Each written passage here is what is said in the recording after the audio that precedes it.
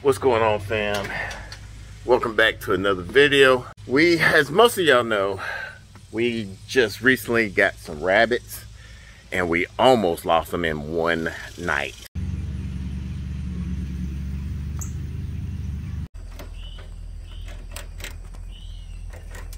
So we had our rabbits right here uh, with the uh, hutch that was given to us uh, to try out and whatnot. And we had them up on a platform with a wire mesh at the bottom, uh, whatnot, so we can collect all the poop. Had a bucket underneath there. Got them on Sunday. Today is Wednesday. Woke up uh, around 2.30, 3 o'clock this morning and I, I heard a noise in the back and it sounded like some dogs or some type of animal scruffling in the back, our backyard area.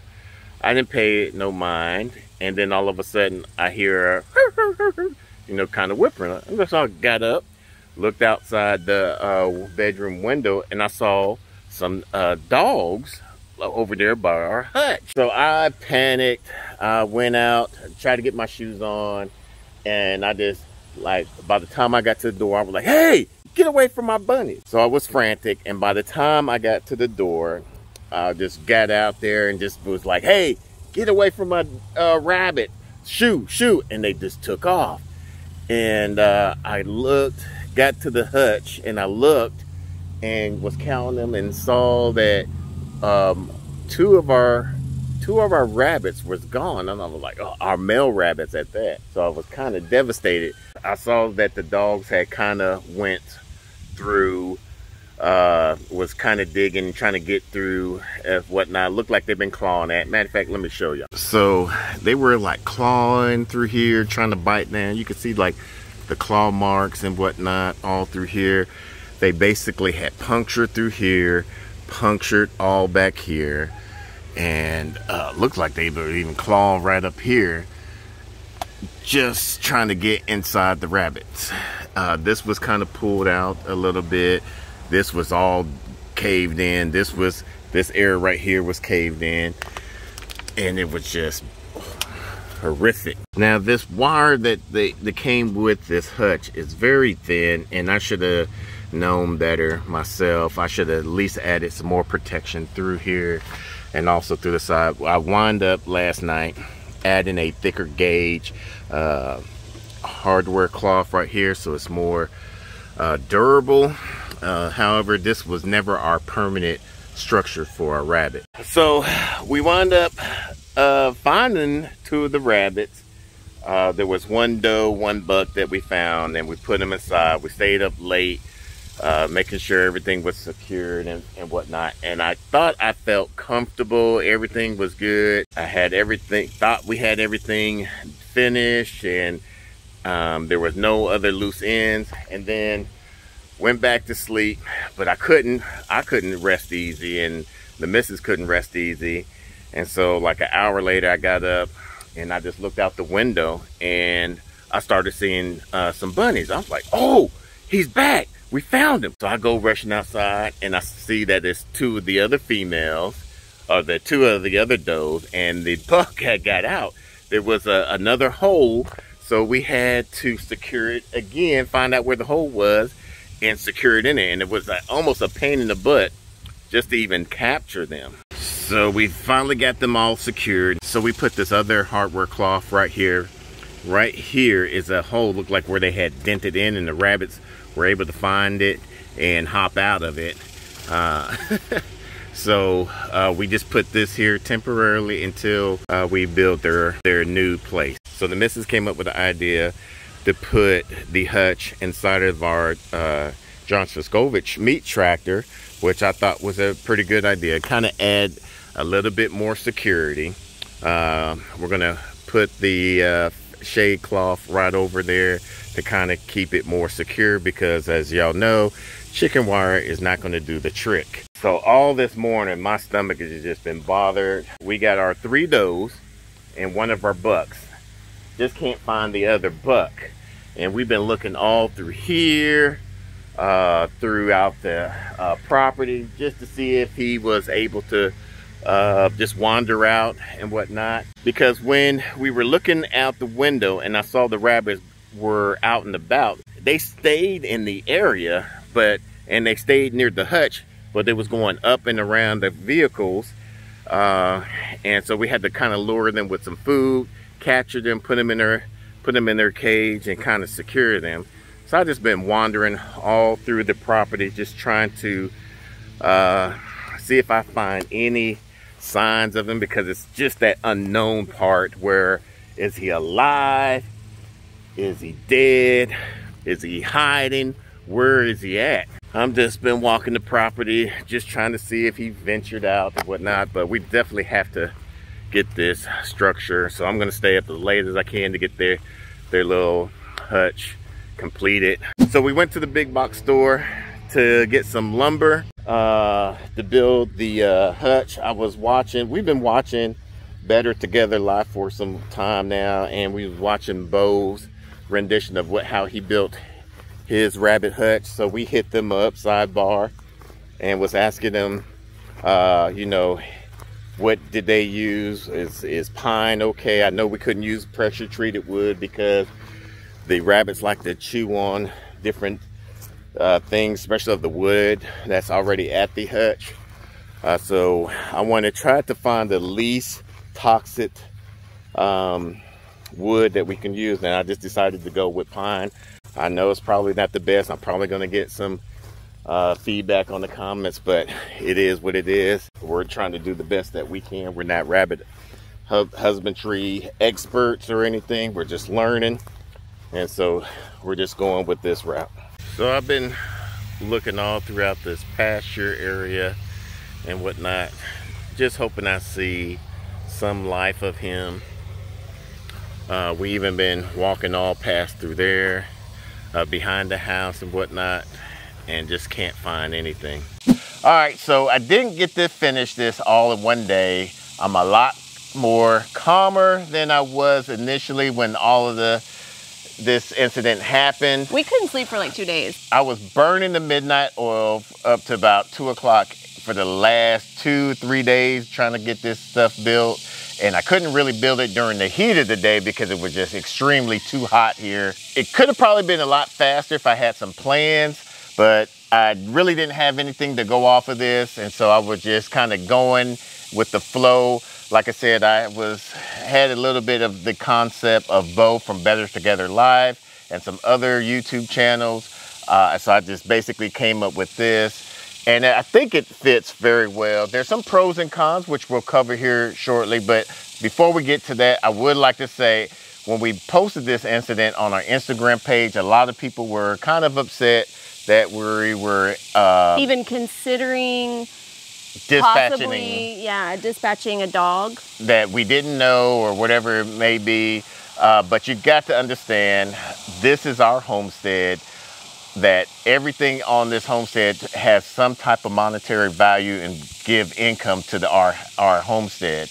Uh, so when anything of that nature attacks or takes that income away, we feel heartbroken we don't want to do it, but at the same time, you know, we have to protect what's ours. We didn't even want to consider hurting an animal, a dog especially.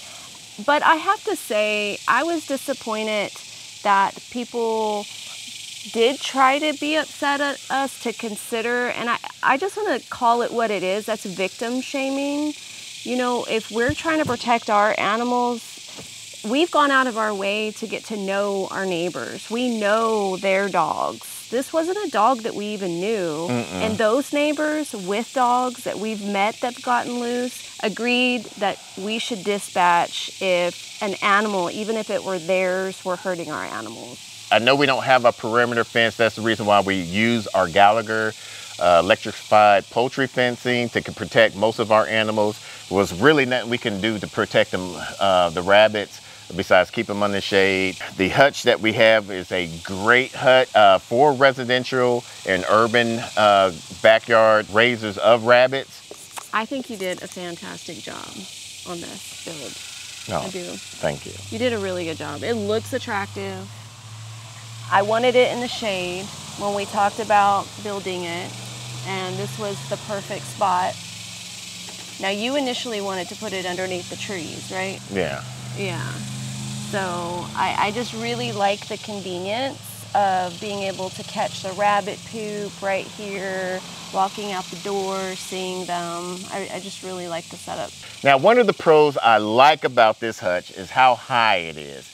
It's uh, about four feet high from the top so that way it makes it very easy accessible where we're not either bending down too far or have to get up on the tiptoes and it's perfect height even for Mrs. Nakid Gardener. Well, we're a foot apart. I'm five two. he's like almost six two. so you can see us next to it. It's accessible for both of us. I'd like the latches on here. I made sure that uh, we have these latches with carabiners Mrs. Nakid Gardener didn't like the fact that once we took the carabiners off, that we had to uh, place it he, somewhere. I knew he was not going to keep track of them. And I am so OCD. I was like carrying it and felt awkward. And I was like, we need a way to like just tie this and have it hang. So uh, what I just did is I just got some parachute cord and tied it on there. So whenever we unlatch it, it's right there. You can't walk off with it. Yeah. I like it's able to have accessibility with the water bottles and the food trays. Uh, and we also got a hay feeder for them to even get some of their Bermuda or alfalfa hay that they have in there. I, I took and um, it, it, was an idea that I used for the chickens and we have some astroturf that we got because I want to be able to switch out for the egg layers and the nesting boxes but when this build came about and we were concerned about how the uh, netting was going to be like on their feet at the bottom. I decided to go ahead and cut out some of those uh, pieces to fit the dimensions inside of here so that they would have a place to lay. And it's really easy to shake those rugs out. Very mm easy to spray them air dry them if i need to at any time. And they only get like a little bit of poop on it they, yeah. we already figured out where their pee corners were and they So they haven't been peeing on it, uh, but that's working out great. And the reason why we did that, like she said, uh, there was we couldn't find any PVC coated uh, hardware cloth, so that's why we went with the um, AstroTurf area. Uh, Mrs. Nakid Gardener put a little uh, hiding space for them. We'll probably eventually. Those were free um, pots that you got at a construction site yeah. uh, that they had trees in. Yeah. And I just, um, initially I put them in there like sideways, but they were getting in it and like rocking side to side. Um, so I just like cut a little hole out of it and they've been like crawling into it and enjoying it. Yeah. And then another thing I like about it, I haven't got to it just yet, is the roof area. Uh, we're thinking about possibly doing some PVC uh, roof panels so that way it protects them from the rains. Uh, but right now we're in the drought season in Texas, so we don't really have to worry about rain as of yet to probably possibly to September. By then it should be covered. We left enough room up here so that way we can put some uh, box fans that you could daisy chain to with each other. You was talking about yeah, I wanted to put, because uh, I saw in some of the grow rack rooms uh, mm-hmm. for microgreens how they have some of those fans. And I was thinking, and I, I had those in mind because of, and I didn't know it was called a daisy chain where you can like link them to each other for those of you that didn't know too. Uh, I wanted something like that so that I didn't have like a bunch of cords everywhere. Uh, because rabbits will chew on things, not that they were going to get to it, yeah. but I want it to be able to put them on the tops of each one, have them have an individual one. Um, and the way that you design the roofing will be able to have a space for that. Yeah, so, but right now we just got uh, some uh, shade fabric cloth uh, that I got from the job site because once they get done with the landscaping, uh, when they transport in the trees, they normally cover it with some type of landscape and they was throwing it away. I was like, whoa, whoa, whoa. That's valuable. yeah, I'll keep that. I'll make something out of that. Yeah, we use it for animals, everything. Yeah. So as you can see. Uh, another thing I like about this is the accessible poop trays for the rabbit poop. You, you, can you measured these out, right? Perfectly, uh, and gave it a little bit space to, for uh, clearance and everything. You're we're able to pull these out to where there each one of these will be right directly underneath each rabbit. Uh, so we can harvest those poop, put them either in the compost bin, make some rabbit poop tea, or even put it directly into our garden. So that was an extra good feature we, we did on that. And these are just large cement trays that you can get from any big box stores. I asked a lot of rabbit husbandry or, or a lot of rabbit keepers about what is the perfect size for each one of these bins. And they were saying for the females, they need a lot, uh, a lot more room than the males. And when you put the females in with the males, uh, the males really don't need that much room because they're not going to be having the, kits or what they call the, the little baby bunnies with them. So that's the reason why you want the extra room for there. So these are about 25 by 30 and about 36 uh, tall. And we are talking about uh, coming up with like a little shelf thing that we can put in the back for them, for each one of them to kind of like jump up on. Just boredom buster stuff. Yeah. Yeah. And uh, this wood is pine, but it is heat treated. It's not chemical based. So if the rabbits do wind up chewing on the wood, hopefully it's not as much toxicity in that, but uh, it should be protected at least from the weather. Uh, for the foots of each one of these legs, I got a cement paver on underneath them. So that way in this area, it floods, it has poor drainage. And so if we get like a good rainfall during the springtime, water will sit here for about a good day or so. Yeah, but it's up on these little cement things that is going to keep it elevated and more protect it from that happening. Yeah. Now, one thing I wish I would have changed about this, and I probably possibly could still do it, is at the end of each one of these, I should have had the legs or the end walls uh, rotated on the outside because with this uh, latch here, we had to go with a different secure latch or hook so that way we can get to this little gate lock right there. Yeah, the carabiner didn't fit properly there. Uh -uh. Yeah, but I had an extra little spring hook, um, and it, I mean, it works perfect. One of our fans or viewers suggested we put one of the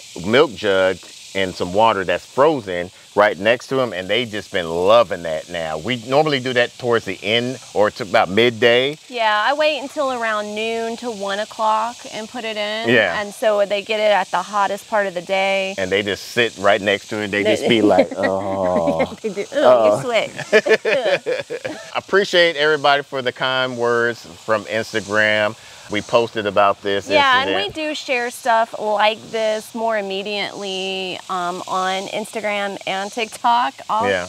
So like if you want little insider stuff before our videos come out, that's usually going to be the hint space.